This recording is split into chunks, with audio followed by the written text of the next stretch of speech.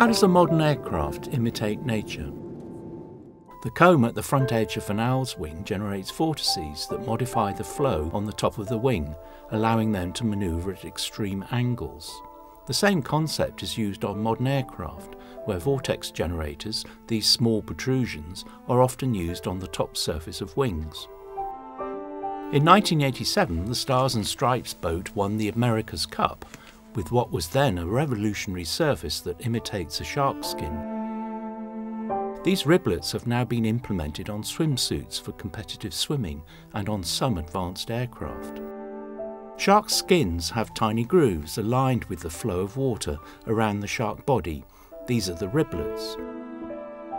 They have been shown to reduce the friction between the shark skin and the surrounding water, making it possible for the shark to swim faster and with less effort.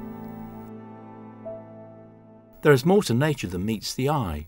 We're inspired by living organisms, trees, birds, fish, and reptiles, and we use these to find solutions to some of today's engineering challenges.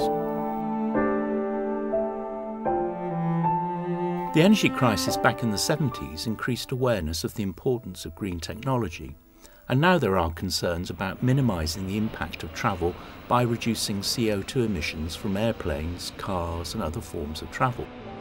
The Flow Control Research Group at Imperial College London and our partners IMFT and the Laplace Labs in Toulouse are looking for innovative solutions to some of today's challenges in making more energy efficient machines.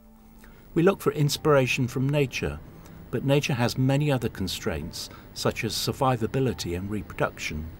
So nature does not always present the optimal solution for one objective such as energy efficiency. We're looking at ways to reduce the friction between a surface and a fluid flowing over it. And if you look at an eel, when they're swimming along, they have this large wavy motion. They use that for propelling themselves. But if you look more closely, you can see there's a shimmer in the skin. And we're able to replicate that. And what we've done is we have fabricated lattices which can uh, shake in plane and give hopefully the same reduction that the eels see. If an aeroplane is flying along and it tips its nose up, what can happen is that the flow over the wing can become detached from the surface and this causes the aircraft to plummet. And if you look at some bats, they have muscles in the middle of their wings which allow them to change the stiffness locally.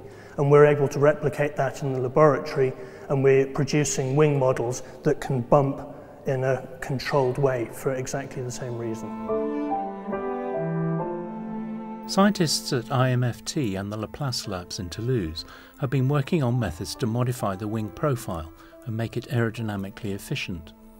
This requires large deformations that are typically required only a few times during flight, such as at takeoff and landing.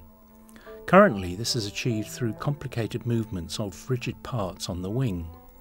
Here, morphing of a semi-rigid wing is achieved through forces applied using a material called shape memory alloy, which deforms under the application of an electric voltage.